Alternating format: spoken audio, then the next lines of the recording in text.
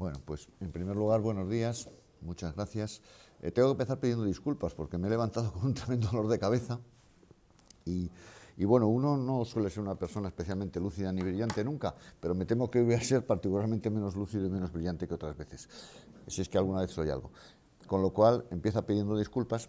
Eh, segundo, mmm, como está planteada la jornada, de lo que hemos hablado con Beatriz, eh, mm, mi, mi, intervención tiene un poco eh, tiene, tiene, tiene, un poco el sentido, el leitmotiv de lanzar un poco, de lanzar todo el contenido de la jornada. Luego vais a tener una mesa redonda con gente que, pues que probablemente sabe más de estas cosas que, que este humilde servidor. Y la idea mía es en esta primera parte, más que mmm, contaros lo bien que lo hace el Principado, lo mal que lo hace el Principado, o lo bien que lo hacemos en la Consejería, es lanzar el tema, plantear cosas, contaros cómo está funcionando y sobre todo ab abriros un poco algunas eh, incógnitas o algunas cuestiones para que luego las podáis desarrollar. Dicho sea de paso, como tenemos tiempo, eh, en cualquier momento, si tenéis cualquier duda, cualquier pregunta, o si queréis cambiar el tema, o si, en fin, pues estoy a vuestra disposición, porque, insisto, esto no es una lección magistral, esto es simplemente sembrar ideas, con lo cual mmm, estoy a vuestra disposición. Es más, estas cosas son tan importantes como lo que yo pueda contaros, para mí es lo que vosotros me podéis contar. Es decir, la oportunidad que, tengo, que tenemos algunas personas de salir de vez en cuando del despacho y poder hablar con la gente y poder escucharos y poder oír, oír opiniones, pues la verdad es que tiene bastante valor, porque si no uno tiene tendencia a encasillarse, a meterse en su sitio, a pensar que lo hace bien y a veces no lo hace bien o a veces lo hace incluso muy mal. Bueno, a lo largo de estas semanas eh, los grupos de acción local de, Asturias, los 11 grupos de acción local de Asturias, están desarrollando jornadas, for, jornadas formativas en sus territorios. Cada grupo ha elegido un tema distinto y está mmm, desarrollando su temática alrededor, del tema, alrededor de ese tema. En este caso, en el caso de Camin Real, eh, el tema que se planteó es muy genérico, es hablar de la participación pública y el líder. En algunos otros grupos se han, se han, utilizado temas más concretos. En algún sitio se ha hablado, pues, no sé, de la estructura forestal, eh, de montes comunales, hace dos o tres días en Cangas de Narcea, o ayer hablábamos de, hablaban del aprovechamiento del castaño en, en Caso. Mm, la semana que viene hablamos de agricultura ecológica en, en Navia Porcía. Pero aquí, sin embargo, el tema es más genérico. Es verdad que también tuvimos una parecida esta misma semana en, en, en la comarca de la Sidra, en que hablamos del asocia asociacionismo. Mm, bueno, eh, la, primera cuestión es mm, trasladaros, tratar de ver de qué estamos hablando cuando hablamos del líder. O sea, hablar del líder y participación pública, pues lo ponen en un cartel y la verdad es que no sabe muy bien uno de qué se trata. Uno puede pensar que todos sois conscientes de lo que es el líder, de lo que significa el líder, pero, pero a lo mejor no es así a lo mejor no es así. Entonces yo creo que la primera cuestión en la que, en la que debemos entrar un poquito es saber de qué estamos hablando, qué es el líder y hasta qué punto el líder es un instrumento de desarrollo rural y cómo se formula. Bueno, lo que conocemos por líder, que escrito es leader, como habréis visto en muchos sitios, que es una suma de palabras que están en francés y que leemos líder, pero deberíamos leer leader, en realidad es una idea que procede de la Unión Europea, Mm, para, para, estructurar otra forma de construir territorio rural. Eh, normalmente mmm, las políticas públicas mmm, se organizan de arriba abajo. Hay alguien que es elegido democráticamente, en algunos países incluso no, pero alguien es elegido democráticamente, ocupa un puesto de responsabilidad, eh, presenta un programa electoral y a partir de ese momento gobierna. Gobierna y dice, pues yo quiero hacer esto o quiero dejar de hacer lo otro. Y, y durante un periodo de tiempo ejecuta su programa y al cabo de esos años, pues los ciudadanos votan y sigue o no sigue. Eso es el leitmotiv común a todas las políticas públicas. Y eso también se ha aplicado históricamente pues, a las políticas agrarias o a las políticas de desarrollo rural. Es decir, yo tengo una orientación y la desarrollo.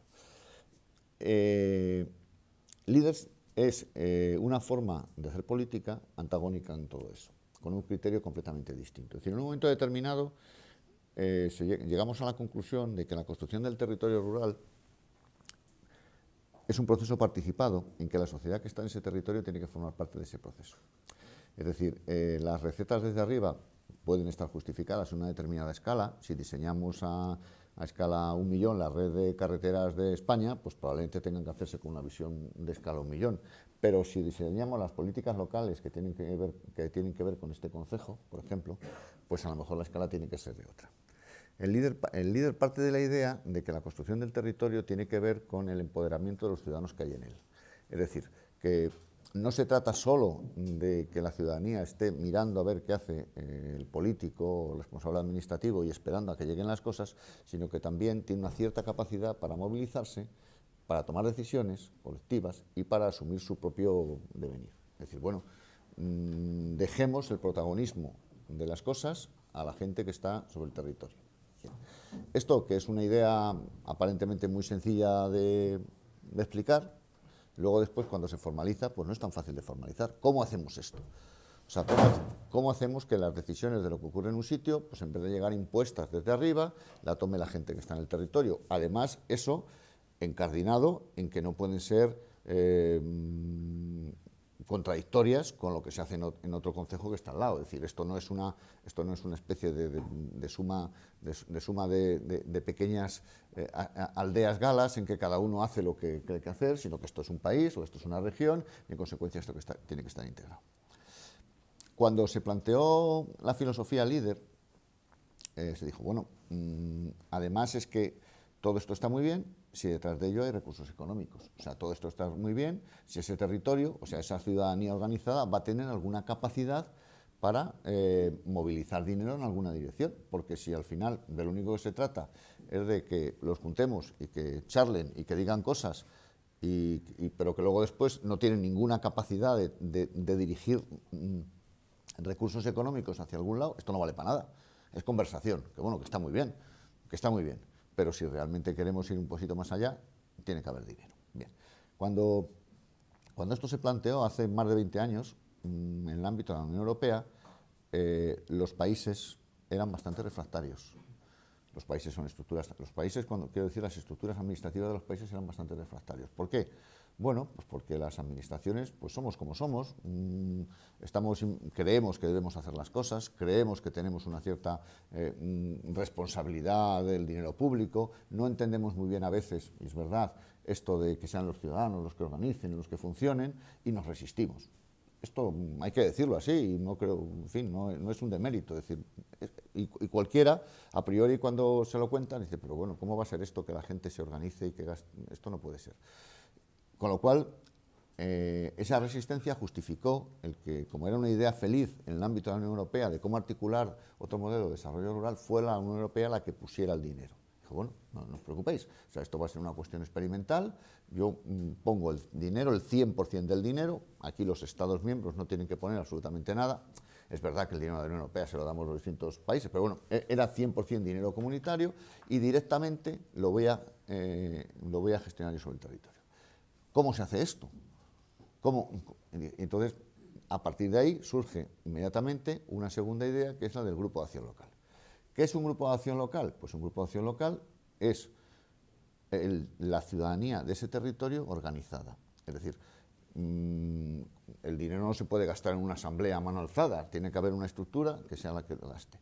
Los grupos de acción local son entes eh, con personalidad jurídica propia, ajenos de la administración, o sea, son sociedad civil, son privados, en el que están implicadas las administraciones, ya sea los consejos, los ayuntamientos, las asociaciones del, municipio, las entidades ciudadanas, los empresarios, eh, los agricultores, los conservacionistas incluso, en algunas situaciones, es decir, donde todos los actores que forman parte de ese territorio o que quieren contribuir al futuro de ese territorio están ahí. Y entonces, pues se constituye el grupo, el grupo define un programa de actuación y ese programa de actuación se le, inyecta dinero. Se le inyecta dinero, como digo, en principio a la Unión Europea. Y el grupo lo gasta. Y lo gasta fundamentalmente en hacer mm, dos cosas, o tres cosas. Uno, primero, el propio funcionamiento del grupo, que lógicamente eh, cualquier cosa supone gasto. Segundo, proyectos comunes que puedan ser de interés para todo el territorio. Y tercero, apoya apoya emprendimiento. Bien. Eh, en un primer momento, mm, la, este, este, este, la financiación de este, inventito que estaba fuera de la PAC, hizo que eh, las acciones que desarrollaba el grupo no tuvieran que ver con la PAC. Bueno, pues básicamente lo que va a hacer el grupo es apoyar actuaciones de diversificación económica. El ámbito de la PAC, de la agricultura y la ganadería, está en otro saquito, es otra política, es la política agraria común, también la paga la Unión Europea, pero ahí ponen parte de los estados, pero esto es un dinero que queda fuera. Y como queda fuera no se mezcla y es estrictamente eh, diversificación económica. Y esa es la primera andadura, el líder 1, el líder 2, el líder plus, es decir, aparecen en sucesivos periodos de programación esta idea, que poco a poco pues, pues va funcionando y va funcionando razonablemente bien. ¿Por qué va funcionando razonablemente bien? Bueno, primero porque el Grupo de Acción Local, al estar fuera de la Administración, tiene un nivel de agilidad administrativa que las administraciones no tenemos. Es decir, yo soy muy pesado, yo soy burócrata y, aplico las leyes y, en consecuencia, mis procedimientos están eh, absolutamente mm, impregnados de legalidad administrativa y de seguridad jurídica. Yo antes de, como administración, antes de resolver y dar un euro a una persona, tengo que comprobar 40 millones de cosas, porque es dinero público y porque yo soy un funcionario público y porque tiene que ser así. Y, para eso está la ley general presupuestaria, y está la ley de presupuestos, y está la ley de contratos, en fin, cantidad de instrumentos muy pesados en algunos casos que nos hemos revestido para dar seguridad jurídica y para evitar, y a pesar de eso a veces no lo conseguimos, que haya, hablando claro, mangantes en la administración que se queden con el dinero. Bueno, pues a pesar de toda esa monumental mm, maraña administrativa no lo conseguimos como para que no exista la maraña. Sin embargo, los grupos no son administración, son sociedad civil organizada, con lo cual tienen mucha más agilidad. Segunda cuestión, el grupo está ahí, está al lado de la gente, está junto al territorio. Yo estoy en un despacho, en Oviedo, y tengo una visión horizontal. Lo que hago tiene que ser válido para todo el territorio de Asturias. Si decido eh, subvencionar eh, las máquinas quitanieves, por decir, por decir algo, eh, tiene que ser válido en Oriente y en Occidente, en el norte y en el sur, porque evidentemente mm, la administración tiene que ser igualitaria para todo el mundo. Los grupos no. El grupo está ajustado a su territorio, ve la realidad de ese territorio y en consecuencia puede decir esto lo apoyo o esto no lo apoyo. ¿Eso qué permite? Pues un, una mayor ajuste de las políticas territoriales a las necesidades de cada sitio. Tercera cuestión, importante, el ciudadano, el emprendedor local, ve al grupo en la, ve al grupo en la proximidad. No lo ve lejano, distante, hay que ir a Oviedo, hay que echar los papeles, ¿no? La, es el mismo. Es decir, el grupo es la sociedad organizada, con lo cual el empresario está ahí, con lo cual no puede decir, esto es del grupo, pero es que soy yo. Eh, la organización de cultura eh, no puede ver el grupo como algo ajeno porque forma parte de ello. Es decir, de alguna forma estamos, está mucho más vertebrado y mucho más conjuntado. Mm, la experiencia es una experiencia exitosa. La experiencia supone que poco a poco van apareciendo más grupos de acción local. En España hay cerca de 300 grupos en estos momentos, en Europa hay 3.000. Y poco a poco se va evidenciando que estas políticas de proximidad, eh, que estas políticas de atención a lo pequeño, que estas políticas eh, de, cuidado casi, casi detallista, eh, no solamente no son incompatibles con las grandes políticas de Estado, con los grandes planes horizontales, sino que muchas veces son capaces, como, como, el agua cuando la dejamos caer por las grietas, de, cubrir esos, esos intersticios que la gran política pues, no es capaz de llegar. ¿no? Claro, eh, esto como todo tiene sus luces y sus sombras y durante mm, estas décadas de líder, pues las administraciones han tenido o hemos tenido posiciones mm, distintas. Incluso aún hoy, a nivel de distintas comunidades autónomas, pues la posición que se tiene frente al líder es una u otra. Mm, porque, como os decía, eh, hay un sector importante de los responsables públicos que consideran, o que consideramos, yo tampoco no, me, quiero quitar responsabilidad, que la cosa pública es una cosa de los funcionarios y de los políticos y que esto de devolver responsabilidad a la ciudadanía pues es peligroso, es peligroso, es un proceso que un poquito que raya lo asambleario y que mm, tiene pocas cautelas y cómo vamos a pasar dinero público a entes privados, y, yo puedo entender algunas cautelas en algún sentido. Bien. ¿Qué ha ocurrido en, el, en los últimos, en la última década? O la, Sí, en la última década. Bueno, en la última década eh, la sociedad ha, empezado ya definitivamente a mirar al medio rural de una forma distinta a lo que lo estaba mirando hasta ese momento. Eh, después de la Segunda Guerra Mundial, eh, en Europa, la visión que se tiene en el medio rural y la que se trata de apoyar es una visión básicamente de subsidiariedad productivista. Es decir, bueno, los europeos tenemos que comer, y entonces, como tenemos que comer, en algún sitio se tiene que producir la comida. Y entonces, pues se produce en el medio rural. En consecuencia, hay que cuidar el medio rural, pero no por el medio rural en sí, sino porque nos da de comer. los europeos tenemos que beber agua, Mm, el agua no se produce en las ciudades, se produce en el medio rural. En consecuencia, tenemos que cuidar el medio rural porque nos da agua, no por el medio rural en sí, sino por el agua que nos da. A lo largo de los años 60, 70, eh, a medida que la población europea, y España acabó, en, digo europea porque al final esto es un planteamiento comunitario básicamente de la Unión Europea y España entró, hay una visión sobre el territorio rural mm, en términos de espacio de aprovisionamiento. Es decir, el territorio rural es concebido como un sitio donde hay que sacar lo que nos da de comer, hay que sacar la madera, además nos tiene que producir agua, nos tiene que producir electricidad a ser posible y nos tiene que producir mm, medio ambiente, naturaleza. Eh, un planteamiento mm, que llega un momento en que hace crisis, porque el medio rural, mm, con todo mi respeto a todo el mundo, no está para dar de comer al medio urbano. El medio rural es un territorio donde vive gente, forma parte del territorio y tiene todo derecho del mundo a tener un proyecto propio de organización. Es decir, evidentemente da de comer al, medio humano, bien, evidentemente produce agua, bien, pero no es ese su fin. Su fin es servir de un desarrollo en sí mismo. Su fin es que funcione como, espacio de vida y como espacio social.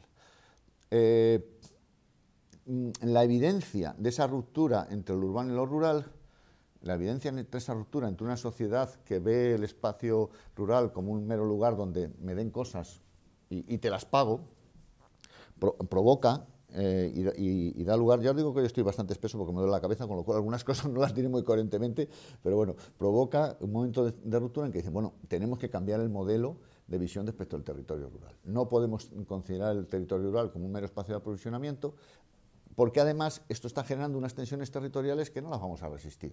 Es decir, eh, si, la tendencia poblacional supone que al final concentramos la población en las ciudades y el espacio sigue teniendo actividad, pero no tiene población, pues al final lo que vamos es un país que se rompe literalmente, que se rompe literalmente, ¿no? Es decir, lleno de vacíos geográficos donde no pasa nada. Por otra parte, eh, al mismo tiempo, el cambio de modelo de vida que se produce en los últimos 30 o 40 años supone que la gente gana una movilidad que no tenía antes. Hace un siglo nacías aquí, vivías aquí y te morías aquí y no había más posibilidad de salir de aquí. Con lo cual, de alguna forma, las condiciones de contorno mm, te condicionaban y, y estabilizaban el sistema. Ahora aquello ha cambiado. Tú naces aquí, pero te puedes ir allá, puedes cambiar, puedes moverte, tienes una movilidad. Con lo cual, nada te ata tanto al territorio a priori, nada te ata tanto al territorio como hace 100 años en que no tenías más narices que nacer, vivir y morir donde estabas. Eso está generando unos flujos de gente, unos vacíos, que vuelven a poner la visión sobre el territorio rural. Llevamos unos años en que afortunadamente todo el mundo mira al territorio rural y todo el mundo se quiere preocupar sobre el territorio rural. Bien es verdad que mi percepción es que todavía estamos en fase de ¿qué está pasando ahí? ¿Qué está pasando ahí? Mm, mm, cuál es el problema y que todavía no hemos entrado en la fase de la solución. Cuando se empieza a pensar en cómo se puede solucionar, en, cuál es el problema y cuál es la solución, al final la idea es muy sencilla. Mire usted, el territorio es un continuo, no hay vacíos, el territorio, la gente puede, puede tener capacidad de desarrollar su proyecto vital en cualquier lugar, si usted se quiere ir de aquí porque se quiere ir voluntariamente, váyase, pero no véase obligado a irse porque las condiciones de vida, de calidad de vida, no son las que le permiten y al final descubrimos algo. Y es que eh, la gente en el medio rural, el problema no es que no haya empleo, que lo hay, bueno, lo hay, lo hay en comparación con el medio urbano, el problema del medio rural fundamentalmente es que no hay calidad de vida, es que faltan servicios es que la sensación que tienen los ciudadanos rurales es que no tienen las mismas posibilidades que tienen los ciudadanos urbanos. Entonces, el modelo de lo que hay que hacer sobre el territorio consiste más en hacer cosas que tienen que ver con el empleo, pero hacer cosas que tienen que coadyugar alrededor, que muchas veces desde la visión grande, desde la visión un millón, somos incapaces de ver. Entonces, en ese proceso es cuando vuelven a aparecer los grupos de acción local. Dice, bueno, necesitamos algo, necesitamos algo que esté organizado a nivel de territorio, que sea capaz de entender lo que está pasando ahí en, clave social, de ciudadanía, de relaciones, y que en un momento determinado pueda decir, esta es la solución que tenemos que dar a este sitio.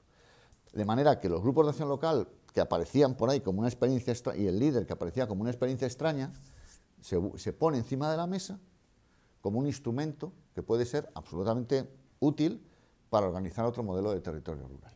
Claro, a partir de aquí la cosa se complica, porque ya no estamos hablando de, bueno, vamos a ver una experiencia, a ver cómo funciona, organizamos unos grupos y les damos un poquito de dinero y, a ver cómo va esto. Estamos hablando de cómo construir el territorio rural, que por ejemplo en España supone el 80 o 90% del territorio. Y, en y ahí las cosas se vuelven un poquito más complicadas. Yo tuve la suerte de participar hace unos años, cuando estaba en el Ministerio, en un intento que fracasó, porque fracasamos, y las cosas son así, a veces uno acierta y a veces uno... de poner en marcha un cambio radical en, la gestión del territorio rural del territorio rural español, en base a una ley que aprobó el Parlamento, que era la Ley de Desarrollo Sostenible del Medio Rural, que iba a organizar todo el desarrollo territorial de una forma integral, integrando todos los sectores, y además sobre la base de eh, comarcas organizadas con una perspectiva que era una perspectiva líder. no estaban los grupos de acción local, pero rezumbaba la perspectiva líder fracasamos. ¿Por qué fracasamos? Pues porque esto es muy difícil y sobre todo porque las políticas sectoriales prefieren ser políticas transversales sectoriales a tener un acople local. Es decir, eh, yo soy el director general de Desarrollo Rural del Principado de Asturias. Pues lo soy, bendito sea Dios. Hay un boletín oficial en el que aparezco, nombrado. Pero mm, yo tengo las manos atadas para hacer desarrollo rural en Asturias. Porque hacer desarrollo rural en Asturias es hacer temas de sanidad, es hacer temas de educación, es hacer temas de carreteras, es hacer temas de ocio, es hacer temas de dependencia, es hacer, temas de mayores. Y eso, de eso no, hago nada. No, estoy criticando, estoy, estoy hablando eh, más desde el punto de vista académico que desde el punto de vista responsable eh, de una parcela de administración. No hago nada porque en el decreto donde dice mis competencias no, no, no dice nada. Es más, soy el director general de Desarrollo Rural pero la única competencia que se me atribuye, que inequívocamente tiene que ver con el desarrollo rural, es el líder. Es el líder. Y podemos caer en el error de pensar que desarrollo rural es el líder y que poniendo un poquito de dinero al líder y, abriendo la ventanilla y con Beatriz muy activa por aquí consiguiendo proyectos, estamos haciendo lo que hay que hacer en materia de desarrollo rural. Y sería un gran error, porque no es porque las políticas de desarrollo rural pues tienen que ser políticas transversales que vean lo que ocurre en el territorio y que resuelvan los problemas del territorio. Bien. Eh, pero yo sigo pensando que el líder es un buen instrumento para hacer desarrollo rural, pero no del pequeñito, sino del grande. Aunque efectivamente eso supone mm, enfrentarte con, las, con los titulares de esas políticas que no quieren abandonar esa capacidad porque detrás de todo esto pues está eso tan humano que es el poder y es, es la autoridad y es el mandar y es manejar el dinero público. Y eso es humano y nos ocurre a todos y bueno, yo lo entiendo. ¿no? Bien. ¿Cómo, ¿Cómo, estamos o cómo está la situación? Bueno, eh, hubo, un, paso importante hace mm, dos periodos de programación que ha condicionado totalmente la evolución del líder, que se vio como un paso adelante y que a mí me parece que es un tremendo paso atrás. Y fue cuando en el año 2000, periodo anterior, el que acabó en el 2000, en el que acabó en el 2014, cuando en el 2007, en el periodo de programación 2007, los países decidieron que el líder ya no iba a ser una cosa aparte, aparte de una cosa que dependía de la Unión Europea, pero una cosa aparte, sino que se iba a integrar dentro de la PAC que se iba a integrar dentro de la PAC, en concreto dentro del segundo pilar de la PAC, que es desarrollo rural. Es decir, líder que hasta ese momento estaba aquí y aquí estaba la PAC, y líder era una cosa rara, entre comillas, pero que era autónoma y que no molestaba a nadie porque era autónoma y porque la pagaba, pagaba Bruselas, de pronto, en el año 2007, decidimos que no, que esto va a estar aquí y va a compartir vida con esto. Esto se llama política agraria común. Con lo cual, indirectamente, sin que nadie lo diga, pues todos decimos, claro, es que el líder es política agraria común, con lo cual lo que tiene que hacer el líder es política agraria. Con lo cual, todo este discurso que os he dicho de la transversalidad y tal, se hunde radicalmente porque dicen, no, no, no, perdona, yo el dinero ya no te lo doy no sé de dónde, yo el dinero ya te lo doy de la PAC. Incluso algunas organizaciones agrarias te llegan y te dicen, un momento, ese dinero es mío, es PAC, es agricultura, ¿qué haces dedicándolo tú a poner peluquerías? ¿Qué haces dedicándolo tú a cosas que no son agricultura cuando está dentro del paquete de política agraria común? Y eso genera, durante el periodo anterior, un conflicto entre mm, los llamados agraristas y los llamados ruralistas, en el sentido de, porque al final estamos hablando de fondos, de eh, qué tiene que hacer el líder o hasta dónde tiene que llegar el líder. Porque tan malo es pensar que el líder tiene posibilidad para resolverlo todo, que no, puesto que no tiene capacidad, como decidir que el líder lo único que tiene que ser es subsidiario de la política agraria común. Es decir, eh, en algunas comunidades autónomas y, en algunos espacios de programación en el periodo anterior, el, el líder, de ser una política propia con capacidad para definir y que le puede plantar cara al poder político organizado, puesto que es la sociedad civil organizada, se convirtió en un elemento subsidiario de la política agraria que hacía lo que la administración agraria no quería hacer directamente. ¿Mm? Lo que la administración agraria no quería hacer directamente. Bueno, mm, a pesar de que eh, durante el, de que del análisis del periodo anterior de programación, muchos dijimos que eso estaba mal, que pues mm, lo único que conseguimos es que en el nuevo periodo de programación las cosas estén exactamente igual. Y líder sigue estando dentro de la política agraria común, sigue siendo un elemento de la política agraria común y el dinero que destinamos al líder, pues alguien puede pensar que se lo estamos quitando a los agricultores o a los ganaderos, porque es dinero de la PAC. Bien. Mm, ¿Qué, hemos hecho? cuál, ha sido la actitud en este caso del Principado de Asturias o cuál ha sido la actitud de, este territorio en relación con el líder? Bueno, en este periodo de programación, la verdad es que eh, eh, los miedos respecto de esa capacidad que tiene el territorio para autoorganizarse a nivel de España han crecido. Si en el periodo anterior había un porcentaje mínimo que tenía que dedicarse de los programas de desarrollo rural al líder del 10%, en este periodo el porcentaje se ha convertido en un 5%. Y la mayoría de las comunidades autónomas, sabéis que la programación de desarrollo rural está regionalizada y no es una programación nacional, sino que cada comunidad autónoma tiene la suya, la mayoría de las comunidades autónomas destinan menos dinero al líder que lo destinaban en el periodo anterior. Es decir, mm, el, el estar situado el líder dentro de un escenario agrícola le ha supuesto que el mundo agrario lo considere un elemento reduccional y ahora tiene, y en este periodo hay menos dinero para el líder que el periodo anterior. Con alguna excepción, con alguna excepción. Una de ellas es esta comunidad. En esta comunidad eh, el líder sigue teniendo bastante dinero. Cuando digo bastante dinero es que es la comunidad que más dinero tiene en comparación con los PDR, pero de verdad, no, no, esto me da un poco de pudor, porque yo no vengo aquí a ponerme medallas ni a decirnos lo bien que lo hacemos, vengo a contaros una realidad y luego a partir de eso pues tratamos de ver. O sea, yo no vengo a vender mi, mi libro, para entenderlo, ¿no? Eh, Asturias dedica mucho dinero al líder y le va a dedicar más, y le va a dedicar más. ¿Por qué? Bueno, pues porque algunas personas que estamos en este lío mm, nos lo creemos y nos dejan. Así de claro, nos lo creemos y nos dejan. Eh, hasta el punto de que en este momento en Asturias los grupos de acción local pues gestionan más medidas de desarrollo rural que la propia administración del Principado de Asturias. ¿Eso es bueno o es malo? A mí me parece estupendo, pero mm, reconozco que hay mucha gente que no lo ve así, reconozco que hay mucha gente que lo ve con un cierto temor. ¿Qué, nos ha pasado también en este periodo de programación que ha irrumpido como un tigre? Pues que estamos sufriendo las consecuencias de un país en el que ha habido mucha gente que ha trincado pasta pública por la cara. Así de salvaje. Entonces, como aquí pagamos justo, pagan justo por pecadores, se ha extendido la sombra general de la corrupción administrativa y resulta que todos los que gestionamos dinero público pues somos sospechosos. Y eso se traduce en que eh, hay que aumentar, multiplicar y centuplicar los controles, los rigores y la desconfianza respecto de los gestores públicos.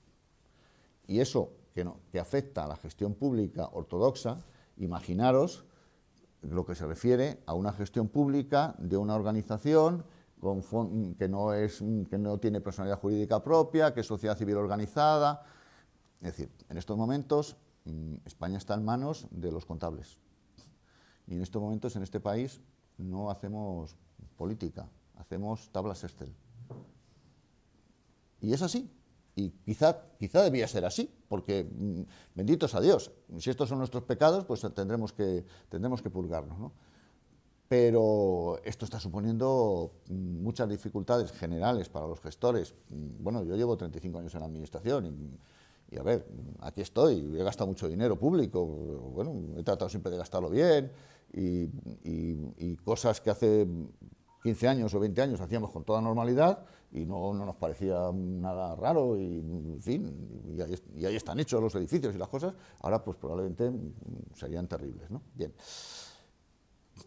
Esto está suponiendo un condicionante muy fuerte porque eh, nos cuesta mucho explicar a los ciudadanos por qué vamos tan lentos, por qué los procesos se ralentizan, por qué los periodos se ajustan, por qué tenemos que ser tan absolutamente ortodoxos en el cumplimiento de la norma, por qué si se pasa usted un día de plazo, eh, ya se ha pasado un día de plazo y ya se pasó el tema. Esto, que en otros escenarios a lo mejor se podía ver con una cierta flexibilidad, pues ahora nadie se toma esa flexibilidad. Ahora todos vamos por el libro, ahora todos vamos absolutamente eh, a cepillo. ¿Por qué? Pues porque hay una sensación general de que tiene que ser así. El líder en este periodo que dispone de tanto o más dinero que el periodo anterior, al principio de tanto y al final va a ser bastante más que el periodo anterior. Mm, al final del periodo de programación del PDR, de la dotación que tiene Asturias de PDR, de Programa de Desarrollo Rural, un tercio lo vamos a gastar en el líder. Es una barbaridad. Si hablas con otros, te dicen, pero ¿cómo te puedes gastar eh, un tercio en el líder? Eh, mm, hasta tal punto llega el tema que en la última reunión que tuvimos con la comisión, en la que la comisión nos hace un examen anual todos los años y nos pregunta cómo va el PDR, en qué está gastando, y dijimos, bueno, vamos a hacer una próxima modificación de PDR, cuadro financiero, y, y el líder ya gestiona 11 medidas del PDR, muchas más que la consejería, en el ámbito agrícola todo lo lleva el líder, en el ámbito ganadero todo lo lleva el líder menos el vacuno, y vamos a subir hasta aproximadamente un 30% del total del PDR para líder. Y la propia comisión le dijo, nos dijo, ¿y cómo hacen ustedes eso? ¿Les dejan sus agricultores? Eh, sí. ¿ah? Y, y, están ustedes dispuestos a ceder esa responsabilidad al territorio? ¿Que un tercio de sus recursos económicos no lo gestionan ustedes, sino que lo gestiona el territorio? Sí. ¿Vale? Porque todavía subyace ese planteamiento, eh, como os digo, de, bueno, esto es un dinero de funcionarios, aquí que vamos a ceder al territorio para que gestione recursos. Bueno, pero vuelvo a lo anterior. Entonces, el, líder que, en este periodo de programación gestiona más dinero, más fondos, sin embargo, ha sufrido lo mismo que hemos sufrido, que estamos sufriendo todos, es ese rigor de control presupuestario que estamos sufriendo todos. Y hemos tenido que hacer un aprendizaje, y Beatriz está aquí, de cómo eh, en unos tiempos que no son distintos, porque no son distintos, aprender mecanismos nuevos. Y eso significa, es verdad, que hay mucho más rigor presupuestario, es verdad que estamos mucho más tranquilos, pero mm, hace unas semanas tuve que contestar a una pregunta parlamentaria de estas que hacen nuestros diputados, que se pasan el día haciendo preguntas. Y, y hay que contestar, sí, ¿verdad? Y dice, pero ¿para qué me pregunta esto? Bueno, mm, con esta matraca de que el líder es un chiringuito de alcaldes y que al final esto es una especie de conchabeo y que aquí se reparte la pasta y entre amiguetes y tal, que, parece increíble que después de, de, cuatro años aquí mm, publicando todo, tal, no sé qué, colocando órdenes de bases, pues todavía siga este lío. Pues dije, mire usted, en la contestación me entretuve en ver cuántos controles ¿Cuántos controles hay de cada gasto líder? O sea, el líder hace un gasto o un... bueno, ¿cuántas, ¿cuántos organismos controlan eso? Ocho. Ocho veces, ocho veces, es, real esto, ¿eh? Eh, no, es es, una aproximación. Cada, cada facturita del líder, una vez que está hecha, bueno, del líder y el no líder, pero cada facturita, hay ocho entidades independientes que comprueban que está bien hecha. Ocho. Eso quiere decir que aproximadamente por cada trabajador que tiene el líder hay ocho personas adicionales comprobando el trabajo. Pensar un poco la administración que estamos construyendo. ¿eh? Una administración en que por cada funcionario que trabaja hay ocho que vigilan el trabajo que hace. ¿Mm? Entonces, y a pesar de eso, y a pesar de que ahora tenemos plazos, y a pesar de que el líder, como entró en la PAC, entró en el presupuesto del Principado y en consecuencia está sometido al, rigor presupuestario y a la planificación anual, y a pesar de que lo que no se gasta este año, mm, porque claro, mm, cuando el líder era una iniciativa comunitaria que dependía de Bruselas, Bruselas, Bruselas mandaba el dinero y aquí estaba el dinero y no había ni ley general presupuestaria, ni anualidades, el grupo gastaba y lo justificaba. Ahora no, Ahora el dinero del grupo o del, líder está metido en el presupuesto, con lo cual está sometido a la rigidez presupuestaria. Hay anualidades, hay presupuestos, hay fechas, hay certificaciones, hay pagos, hay periodos de cumplimiento. Es decir, eh, mm, yo les he hecho mucha bronca a los gerentes, porque, porque los gerentes básicamente lo que tienen que hacer es animación social. Es decir, y, nos pasamos el día revisando facturas, ¿no? En, en, algún momento de alucinación mental eh, les he llegado a decir, bueno, para el siguiente periodo de programación lo que hay que hacer es cambiarlo radicalmente. Es que el líder no gestione convocatorias, que no gestione convocatorias. Que lo que, lo que tiene, porque el problema final es que el líder no es una ventanilla, el líder no es una forma de gastar dinero, ¿no? Porque las, esto está inventado, lo de las convocatorias, las pólizas, los sellos, el, el complete anexo 1, eh, la comisión de valoración, los criterios objetivos, esto está inventado, lo sabemos hacer los funcionarios. El líder es otra manera de hacer territorio y la, principal función del líder es, es, es movilizar la sociedad. Es movilizar la sociedad, es generar un, un, un ámbito de ciudadanía responsable, eh, comprometida, que no se deja llevar por lo que dicen los poderosos o por lo que decimos los responsables, que no admite, bueno, pues tendrá que venir por aquí la carretera, porque si lo dice el director general de carreteras, pues tendrá que ser, sino gente que esté dispuesta a entender que es responsable de, su proyecto de vida y el líder lo canaliza. Y el líder moviliza elementos, mm, es activo, pero eso, que es lo importante que tiene que hacer el líder, lo importante, a lo que debería dedicar la mayor parte del tiempo. Sin embargo, en este periodo, como estamos absolutamente convencidos de que estamos rodeados de corruptos por todas partes, pues el líder, como todos, nos pasamos el día preparando los papeles para alguno de los ocho señores que luego nos tienen que mirar los papeles para comprobar que no nos hemos equivocado. Y a pesar de eso gastamos y hacemos cosas. En consecuencia, a mí me parece estupendo que luego vayáis a tener una, una, una mesa redonda sobre si podemos hacerlo de otra manera porque yo os anticipo, claro, claro, y debemos hacerlo de otra manera. Porque algo que fue concebido para meterle un cartucho de dinamita al edificio burocrático de la Administración y hacer las cosas públicas de otra manera, al final lo estamos convirtiendo, lo estamos convirtiendo en otra forma de hacer la misma burocracia. Y corremos el riesgo al final de convertir el líder en, en, otra parte más de esa burocracia en la que no queremos formar parte. Y yo soy un burócrata, pero bueno, y tenemos que existir los burócratas, pero lo que no podemos pretender es que todo sea burocracia, ¿no? ¿Mm? Entonces, claro que podemos hacerlo de otra manera. ¿Y debemos? Bueno, pues yo creo que sí. Yo creo que sí. Yo creo que cuanto más reforcemos las capacidades del territorio para ser constructivo y para ser crítico, mejor le irá al territorio.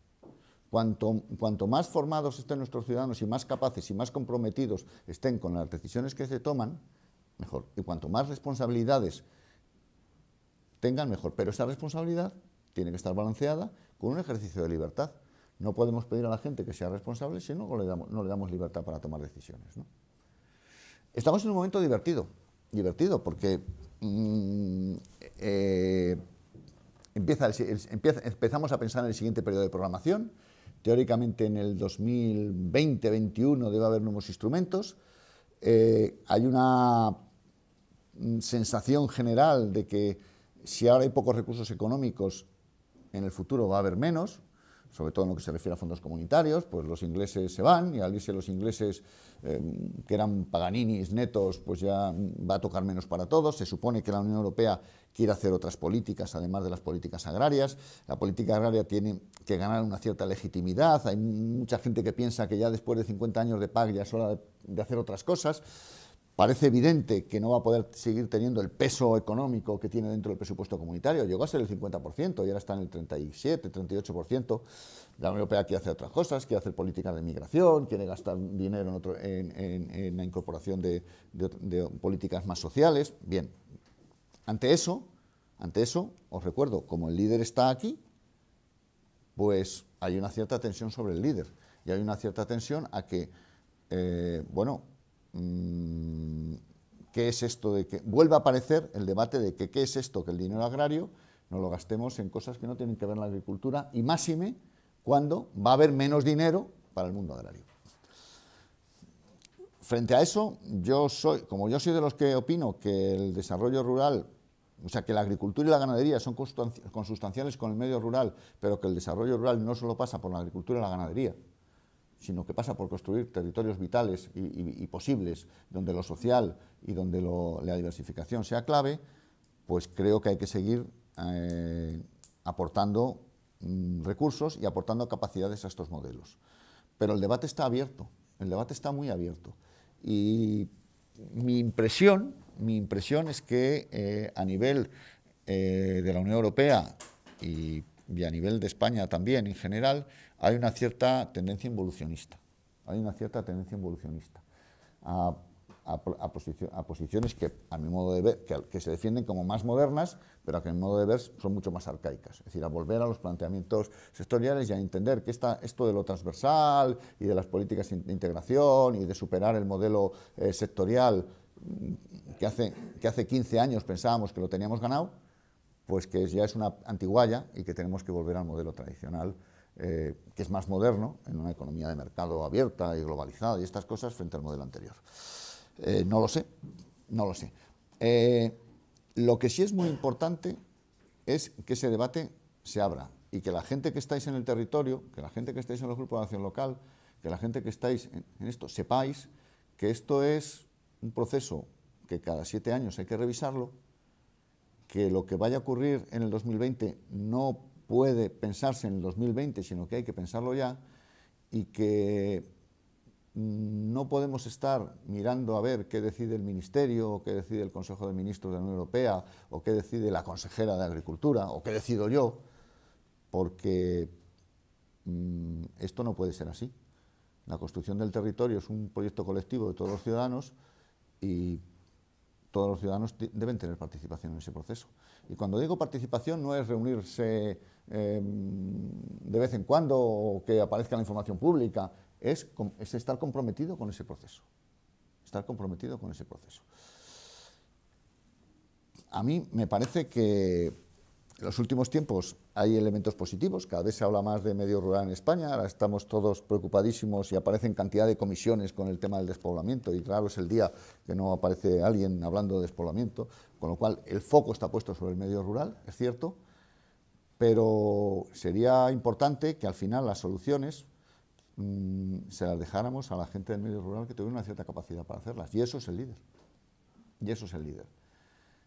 Mm, cuando, cuando digo estas cosas, y luego, bueno, y ahora si tienen ustedes alguna pregunta, generalmente la pregunta suelen ser, bueno, ¿y de mi subvención qué? ¿Y de mi convocatoria cuánto? ¿Y cuánto vais a abrir la ventanilla? ¿O cuánto vais a pagar? Y yo entiendo que es así, y yo entiendo que es así, pero yo insisto, lo menos importante del líder es el dinero que da o el dinero que aporta.